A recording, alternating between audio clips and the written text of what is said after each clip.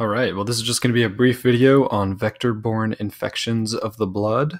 So let's get our table out and talk about a few vector-borne infections that affect red blood cells and some white blood cells. We're going to be talking about the vectors. These are the species that actually transmit these diseases, these infections. We're going to talk about the microbial organisms that cause the infection. This is the tiny animals, the tiny bugs that you can't see. We're going to be talking about mainly parasites and bacteria. Next, we have the pathogen class. Like I just said, parasite and bacteria are the two big ones for this presentation. The target, we're talking about what these, uh, what these vectors and microbial organisms eventually infect what cell in the human body. So it could be monocytes, could be red blood cells. We'll see. We'll talk about it. And we're going to talk about what the disease is called formally. This should be a more recognizable name, some clinical features of the disease, and how we go about making a diagnosis of that disease. So let's jump right into it. First thing we got is this tick, this vector called the Lone Star tick, um, aptly named because of the lone star on its back. It carries Ehrlichia species. Ehrlichia is the genus. Um, there are a couple other in the Ehrlichia species, and Ehrlichia is a bacteria. So when this tick carries around the bacteria Ehrlichia, they target monocytes, and the bacteria eventually get inside monocytes and infect them. This is called human monocytotropic ehrlichiosis. And this name, in and of itself, helps you remember a lot of what you need to know about this disease. It's uh, It infects monocytes, monocytotropic, and the bacterial genus is called ehrlichiosis, so that's great some clinical features are, are, pretty ambiguous fever, headache, malaise, sometimes myalgia. Sometimes you get a rash too. The, the common ones, fever, headache, and malaise, are. Uh, are pretty pretty standard for a lot of infections, so that's not it's not too characteristic. And we diagnose this by doing an indirect fluorescent antibody or a, or a PCR test. Either of those methods work. Next, we have this guy. Uh, this is a tick who has black legs, so it's called the black-legged tick. Black-legged tick carries around the Anaplasma species. Anaplasma is, again, another type of bacteria, and these bacteria end up in the granulocytes. These are the only two bacteria we're talking about, and both of their diseases are uh, pretty easy to remember uh, quite a bit about the diseases. So, human granulocytic anaplasmosis comes from the Anaplasma microbe genus, and it infects granulocytes. So, see very similar symptoms here, um, except minus the rash. So again, fever, myalgia, headache, malaise, just ambiguous general infection syndromes. And the diagnosis can be on a blood smear. So you can actually see this one on a blood smear, unlike the Lone Star ticks infection. You can, uh, you can also use PCR as usual, and of course, serology.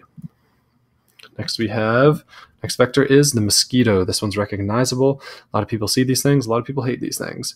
But you all can guess what this guy carries. Well, maybe not. It might not be so obvious yet. But the mosquito carries around Plasmodium falciparum.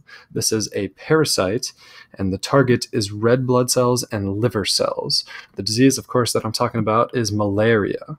Now, we say has two targets because when malaria affects the body, it first enters the liver cells and then spreads to the red cells. So it has like a like an initial initial early phase where it starts replicating in the liver cells before infecting the red blood cells. Malaria clinically presents as a fever, fatigue, vomiting, headaches. Sometimes you end up seeing yellow skin. Uh, jaundice is what it's called, seizures, and coma, and this could also eventually cause death.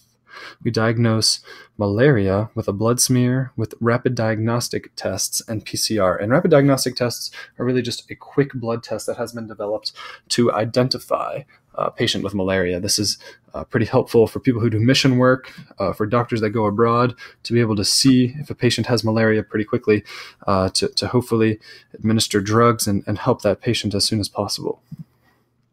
Next bug we have should look familiar. It's again the black-legged tick. In the, this disease, we're looking specifically at the nymphal stage of the black-legged tick. We're looking at the Babesia genus. Uh, several Babesia species are also carried in the black-legged tick. Babesia are parasites, unlike uh, the anaplasma that the black-legged tick also carries, which are bacteria.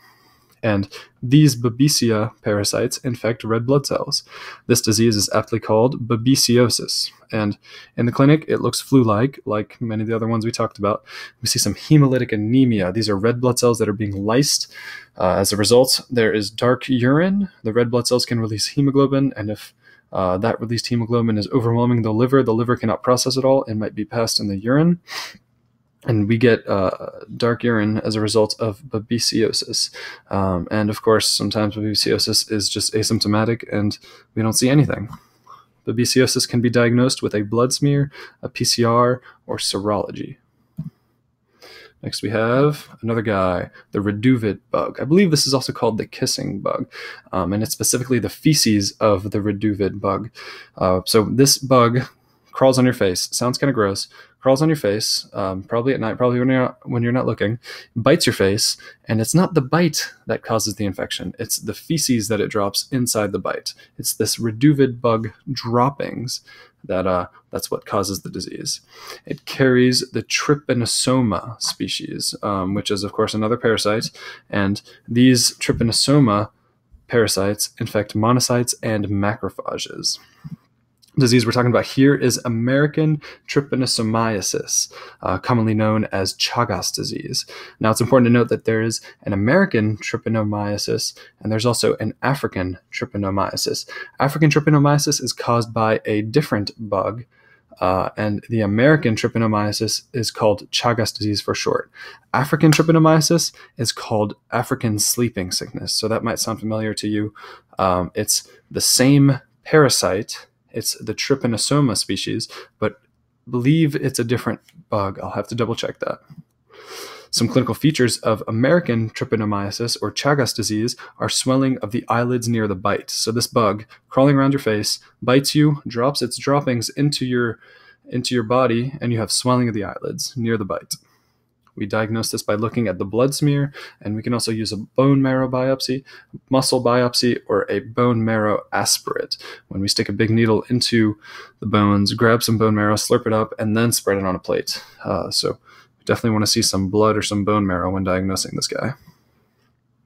This little fly is just a sandfly, particularly the female carries the Leishmania species. Leishmania is another parasite this one targets macrophages and other phagocytic cells, and this carries leishmaniasis, also appropriately named for the, Leishmania, the Leishmania species. Clinical, fe- spe- excuse me, clinical features of this guy includes fever, weight loss, liver and spleen swelling, as well as anemia. And the diagnosis for this one is simple. Uh, maybe not too simple, but it's easy to remember. It's just bone marrow or splenic aspirate. Uh, we suck up, again, a piece of the bone marrow or part of the spleen, and we smear that on a plate and we look at what the cells look like, see if they're affected by leishmaniasis. So these six diseases uh, are all pretty important vector borne infections of the blood. Two of them are caused by bacteria that's human monocytotropic ehrlichiosis and human granulocytic anaplasmosis. Uh, the names of those diseases tell you quite a bit. The other four are caused by parasites. Malaria is probably worth looking into, worth knowing a lot more about, worth knowing maybe the life cycle of the parasite and how it's transmitted by mosquito.